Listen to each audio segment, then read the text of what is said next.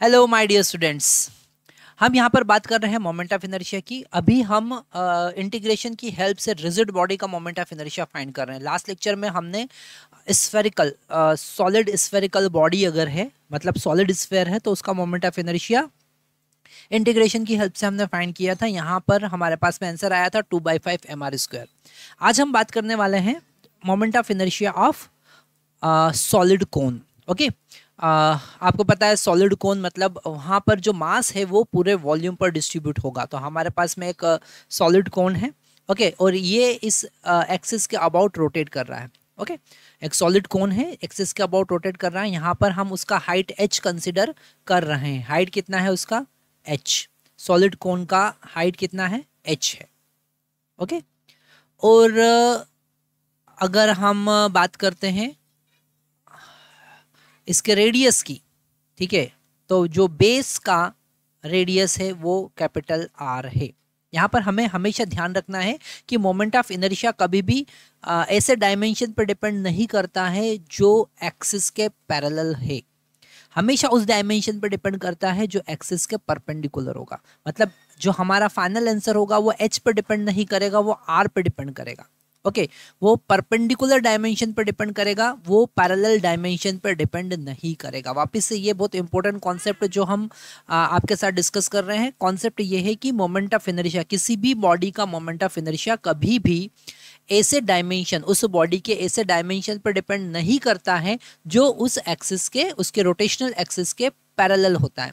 वो हमेशा perpendicular dimension पे डिपेंड करता है। तो यहाँ पर हमारे पास में जो मोमेंट ऑफ़ इनर्शिया होगा, वो इसके मास पे और रेडियस आर पे डिपेंड करेगा, क्योंकि आर जो है, वो एक्सिस के परपेंडिकुलर है।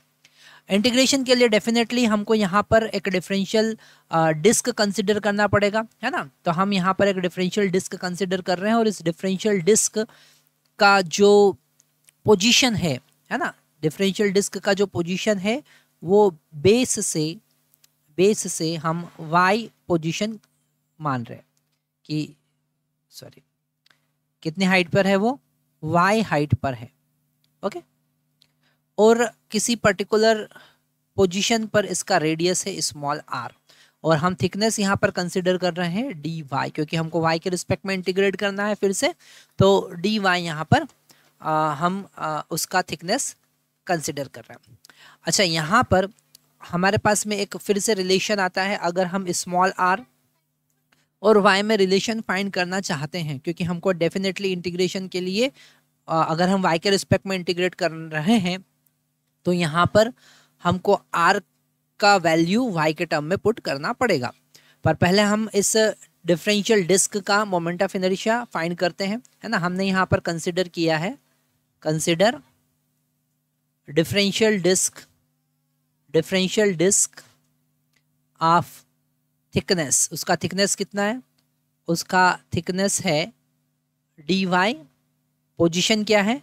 At height Y and of radius उसका रेडियस कितना है? उसका रेडियस है स्मॉल आर ठीक है? तो यहाँ पर उस डिफरेंशियल डिस्क का मोमेंट ऑफ़ एनर्शिया जो होगा, है ना, वो होगा डिफरेंशियल मास इनटू उसका radius square divided by two ये उसका मोमेंट ऑफ़ इनर्शिया होगा। अब हमें सबसे पहले डिफरेंशियल मास यहाँ पर फाइंड करना पड़ेगा। मतलब total mass divided by total volume ठीक है? और इस इस क्यूब का, इस कोन का जो वॉल्यूम होगा वो होगा one by three pi R square into H. Okay, और यहाँ पर हमें डेफिनेटली कैपिटल आर यूज़ करना पड़ेगा क्योंकि हमें बेस का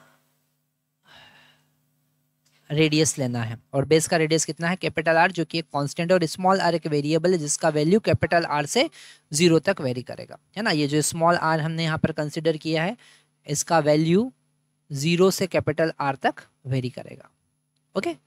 तो यहाँ पर हमने total mass divided by total volume into differential volume of disc और इस डिस्क का डिफरेंशियल वॉल्यूम कितना होगा? उसका रेडियस पाई आर स्क्वायर और उसका थिकनेस डी वाई ओके तो यहाँ पाई से पाई हम कैंसिल कर सकते हैं।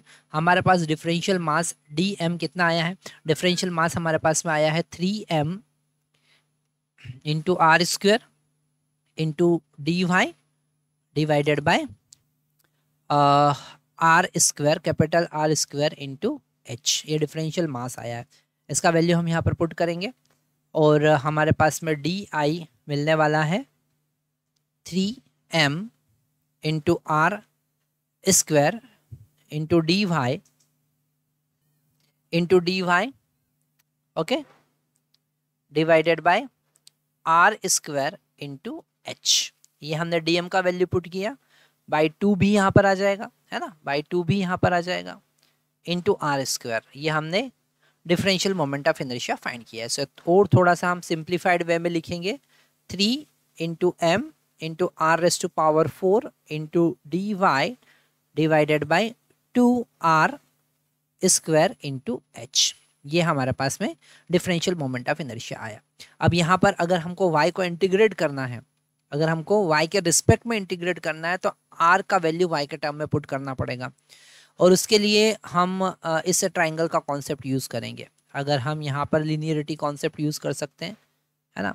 जो यहाँ पर बेस है आर और ये जो छोटा वाला ट्राइंगल ऊपर बनेगा, इसका बेस होगा स्मॉल आर तो ये जो बड़ा वाला ट्राइंगल हमारे पास मिल रहा है, उसका हाइट है एच और जो छोटा वाला ट्राइंगल ऊपर जो वाला ट्राइंगल इसे हम अलग कलर से इंडिकेट कर देते हैं, जो छोटा वाला ट्राइंगल है, उसका बेस कितना होगा? उसका बेस होगा एच माइनस वाई ओके तो यहाँ पर हम अगर टेन थीटा इस थीटा के लिए टेन थीटा लगाते हैं तो छोटे वाले ट्राइंगल के लिए और बड़े वाले ट्राइंगल के लिए टेन थीटा सेम होगा, है ना?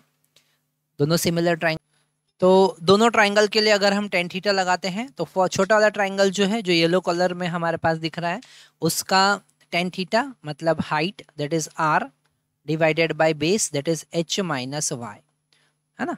और बड़े वाले ट्राइंगल का टेन थीटा मतलब उसका बेस है ना? ये उसका थीटा के सामने वाला परपेंडिकुलर आर और उसका बेस हो जाएगा एच तो यहाँ से हमारे पास में आ, आर का वैल्यू आएगा। आर का वैल्यू होगा capital R divided by H into H minus Y okay इसका वैल्यू हम यहाँ पर पुट करेंगे और हमारे पास डिफरेंशियल मोमेंट ऑफ़ इनर्शिया आने वाला है three M okay divided by two R square into H ये तो हमारे पास था ही सही।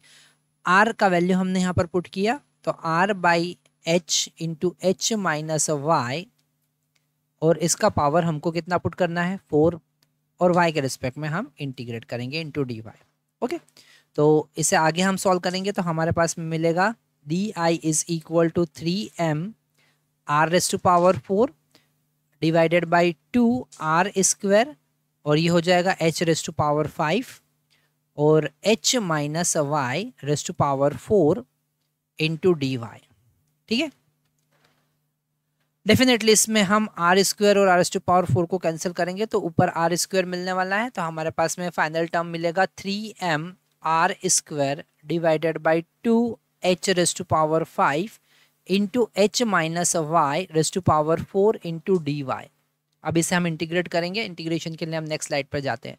तो हमारे पास जो moment of inertia D I आया था, वो एक बार फिर से हम देख लेते हैं क्या आया था। Three M R square divided by two H raise to power five three M R square divided by two H raise to power five in the bracket R minus sorry in the bracket R minus ये था यहाँ पर H minus Y okay raise to power four into D Y है ना? इसको हम integrate करेंगे Y के रिस्पेक्ट में और वाई का वैल्यू क्या होगा? वाई का वैल्यू ज़ीरो से वाई का वैल्यू होगा ज़ीरो से Y is equal to zero से वाई इक्वल टू एच तक हमको इंटीग्रेट करना है। उसको बेस से हमको अपेक्स तक लेके जाना है। तो हमको total moment of inertia I मिलेगा। आई इक्वल टू हो जाएगा यहाँ पर थ्री कॉन्स्टेंट है एम कॉन्स्टेंट है R raise to power two भी यहाँ पर कॉन्स्टेंट है divided by two H raise to power five constant है। H minus H minus Y का इंटीग्रेशन हम यहाँ पर करेंगे raise to power four Y के रिस्पेक्ट में ज़ीरो से एच तक, है ना? डेफिनेटली डायरेक्टली हम इंटीग्रेशन कर सकते हैं, जैसे X raise to power N का इंटीग्रेशन करते हैं, ऐसे इसका भी इंटीग्रेशन हम कर सकते हैं। तो यहाँ पर three M R raise to power two divided by two H raise to power five और इसका इंटीग्रेशन हो जाएगा H minus Y raise to power five divided by five जैसे आप X raise to power N का integration करते हैं directly आप वाई का इंटीग्रेशन यहाँ पर कर सकते हैं Y raise to power five के टर्म में। और यहाँ पर वाई का कोफिशियंट माइनस है तो आगे आपको माइनस का मल्टीप्लाई करना पड़ेगा तो इसलिए हमने यहाँ पर आगे माइनस का मल्टीप्लाई कर दिया है। और इसका लिमिट हमको पुट करना है ज़ीरो से एच तो सबसे पहले हम अपर लिमिट पुट करेंगे minus three M R square divided by ten H raise to power five मिला हमको।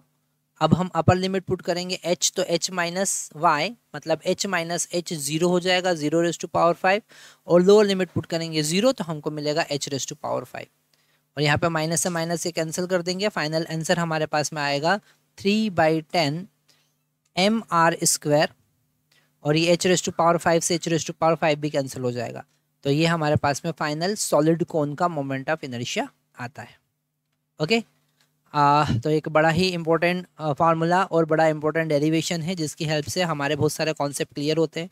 यहाँ पर हम आ, एक इंटीग्रेशन का हमने कॉन्सेप्ट यूज़ किया है जिसमें हम लीनियर इक्वेशन जो होती है जैसे अगर हमने एक्स को रिप्लेस किया है एच माइनस वाई से तो डायरेक्टली आप वाई के रिस्पेक्ट में उसको इंटीग्रेट कर सकते हैं। जैसे आप एक्स टू पावर एन को इंटीग्रेट करते हैं तो हमने यहाँ पर एक बहुत इंपॉर्टेंट इंटीग्रेशन का कॉन्सेप्ट देखा। यहाँ पर हम मोमेंट ऑफ़ इनर्शिया की बात कर रहे हैं। हम अलग अलग टाइप की सॉलिड बॉडी का मोमेंट ऑफ़ इनर्शिया देख रहे हैं। इसके बाद हम अब बात करने वाले हैं डिफरेंट एक्सिस थ्योरम की। ओके अगर हम एक्सिस थ्योरम अगर हम आ, किसी बॉडी को रोटेट करते हैं पर्टिकुलर एक्सिस के अबाउट और एक्सिस अगर हम चेंज करना चाहते हैं मतलब रोटेशनल एक्सिस अगर हम चेंज करना चाहते हैं तो moment of inertia definitely change हो जाएगा। और मोमेंट ऑफ़ इनर्शिया फाइंड करने के लिए हम अलग अलग एक्सिस थ्योरम का यूज़ करते हैं। हमारे पास में दो टाइप की एक्सिस थ्योरम होती है पैरेलल एक्सिस थ्योरम और परपेंडिकुलर एक्सिस थ्योरम और वो किस कॉन्सेप्ट पर बेस्ड है, कैसे आप उनका यूज़ करेंगे और कैसे उस पर बेस्ड न्यूमेरिकल सॉल्व करेंगे, हम उसकी बात करने वाले हैं। तो नेक्स्ट वीडियो आपको ज़रूर देखना है, वो मिस नहीं करना है। Thank you very much